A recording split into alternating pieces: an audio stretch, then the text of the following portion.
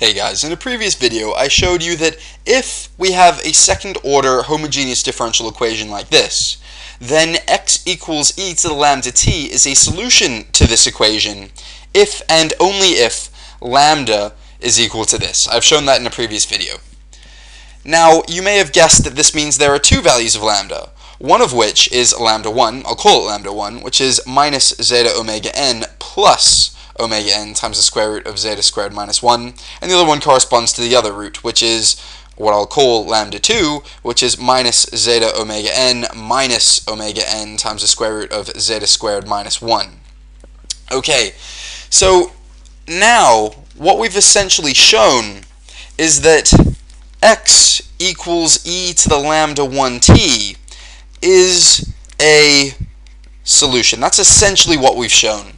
And to really hammer down this point, let me write down what this actually means. It means that if I were to substitute x equals e to lambda 1t into this equation, then we would get 0. So let me write that down for you. That just means that lambda 1 squared e to the lambda 1t, I'm substituting into here now, plus 2 zeta omega n times lambda 1 e to the lambda 1t plus omega n squared, lam, oh, not lambda, e to the lambda 1t is going to be equal to 0. That's because this is a solution to this.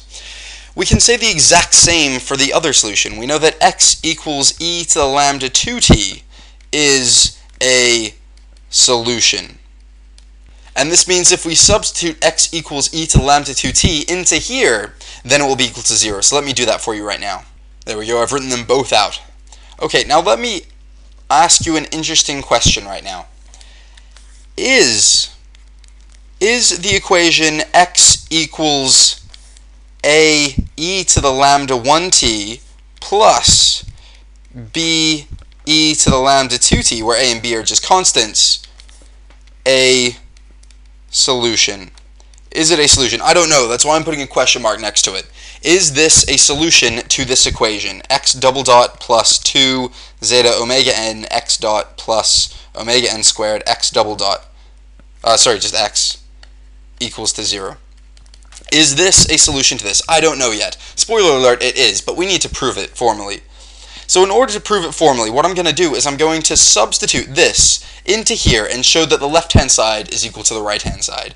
So let me do that nice and slowly for you. Let me, let me substitute this into here. So the double derivative term will be equal to a times lambda 1 squared e to the lambda 1t plus b lambda 2 squared e to the lambda 2t. Then we have to worry about this term just here, which is going to be equal to plus 2 zeta omega n times by, let's see, it'll be this term differentiated once, which will be a lambda 1 e to the lambda 1t plus b lambda 2 e to the lambda 2t, right? Now let's add this, now let's consider this term, which is going to be plus omega n squared times by just x, which is just this. So it's going to be a e to the lambda 1t plus plus b e to the lambda 2t. Okay? Now if this now if this is equal to 0, then we have essentially shown that this is a solution. And to do that, let me group all of these blue terms together and factorize out, and let me group all of these green terms together and factorize a b out. So this is what we get when we group all the blue terms together and then factorize an a out, and this is what we get when we group all the green terms together and factorize a b out. Now it doesn't look like there's any easy way to show this is equal to 0, but we can by noticing that the terms inside this blue bracket is equal to this which I've written just above right here. So in fact we can say that this is equal to 0, and that's because we know this is a solution. Likewise, we know that this term just here, everything inside this green bracket, is equal to 0 for the exact same reasons.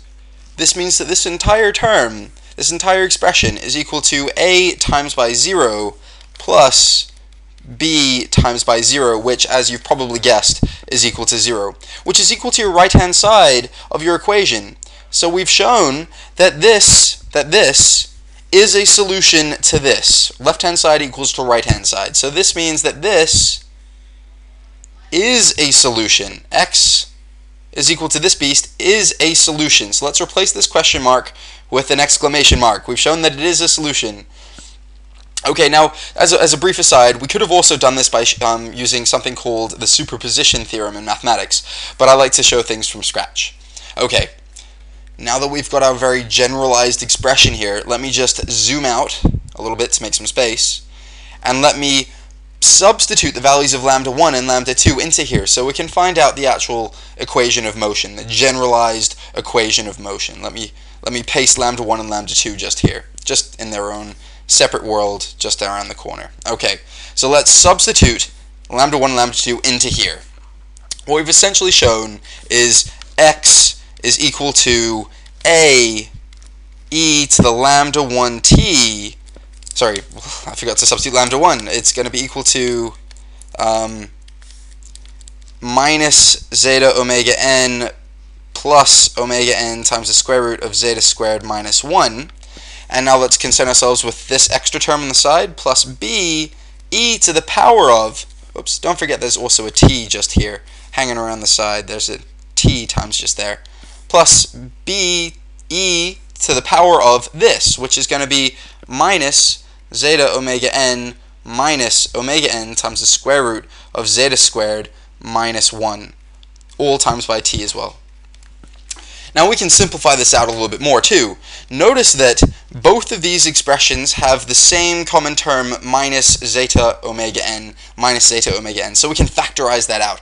We can write this as e, sorry, x, x is going to be equal to um, e, let me write it in orange, e to the power of minus zeta omega n, all times by, all times by a e to the omega n times the square root of zeta squared minus 1 t. Oops, there's a t out here too. There's a t out here too. Plus b e to the omega n minus omega n times the square root of zeta squared minus 1 all times by t. Okay, there we go. Almost made a few careless errors. But there we go. This is your generalized equation of motion just here. And now, depending on whether um, zeta is less than 1, then this thing can be simplified further. But notice if zeta is greater than 1, then this thing can't be simplified down further, and this is our generalized equation of motion. Now, so far, a few of you might be thinking, well, hold on, we've only shown that this is one possible solution. There might be more possible solutions for all we know. As it turns out, there aren't, and for a formal proof into why this is a unique solution, I recommend you go to this link just to the right of this expression.